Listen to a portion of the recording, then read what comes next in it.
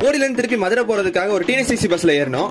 போற வழியே பாக்குறதுக்கு ஏதோ நல்ல ஸ்பாட்டுக்கு போலாமே சொல்லிட்டு பிளான் பண்ணிட்டு டக்குன்னு ஆண்டிப்பட்டியில பிரேக் பண்ணி அங்க இறங்கணும். அங்கிருந்து நாங்க போன இடம் தான் நம்ம வைகிடம். நாங்க ஒரு மூணு பேர் போனோம். அதனால ஆண்டிப்பட்டி பஸ் ஸ்டாப்ல இறங்கி அங்கிருந்து ஒரு ஆட்டோ பிடிச்சிட்டு போயிட்டு நூத்தம்பது ரூபா கேட்டாங்க. ஏழு கிலோமீட்டராமா போனது வந்து பாத்தீங்கன்னா மத்தியானம் பன்னெண்டரை மணிங்க. சரியான வெயில். நீங்க போறதா இருந்தா கண்டிப்பா ஈவினிங் டைம் இல்லைன்னா மார்னிங் டைம் போங்க. மத்தியான நேரத்துல போய் வெயில மாட்டிக்காதீங்க. இந்த வைகிராம கட்டினது நம்ம முன்னாள் முதலமைச்சர் காமராஜர் அவர்களுங்க. உள்ள போறதுக்கு வந்து பாத்தீங்கன்னா ஒரு என்ட்ரி ஃபீ வாங்குறாங்க. அஞ்சு ரூபா வாங்குறாங்க. டேம் பாக்குறது தவிர இங்க ஒரு பார்க் வேற இருக்கு. சில்ட்ரன்ஸ் பார்க் மாதிரி. கீழ ஒரு பிரிட்ஜ் இருந்துச்சு. அங்க நம்ம வைகை டேம் பாக்குறதுக்கு பாத்தீங்கன்னா அவ்வளவு பிரம்மாண்டமா இருந்துச்சு. வேற லெவலான ஒரு வியூவா இருந்துச்சு.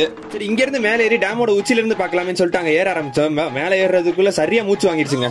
இருந்து பாக்குறதுக்கு அப்படியே வியூ செமையா இருந்துச்சு. அந்த பக்கம் அப்படியே மலைகள் தண்ணி எதுன்னு பார்க்க சூப்பரா இருந்துச்சு. ஆனா மத்தியான நேரத்துல கண்டிப்பா வராதீங்க. காலையில நேரம் இல்ல சாயந்தர நேரத்துல வாங்க. அப்பதான் நல்லா இருக்கும். நல்லா பீஸ்ஃபுல்லா டைம் ஸ்பெண்ட் பண்ற ஒரு இடமா இருக்கும். நாங்களும் நல்லா பார்த்துட்டு ஆண்டிபேட்ல போய் லஞ்ச் சாப்பிட்டோம். சாப்பிட்டு முடிச்சுட்டு மதுரை போற ஒரு ரூட் பஸ் எடுத்து ஆரப்பாளையம் பஸ் ஸ்டாண்ட் போய் சேர்ந்துட்டோம். இந்த vlog full video link description இருக்கு. அதையும் ஃபுல்லா பார்த்து என்ஜாய் பண்ணுங்க மக்களே. சேனல் புதுசாக சப்ஸ்கிரைப் பண்ணிருங்க நன்றி ஏஜி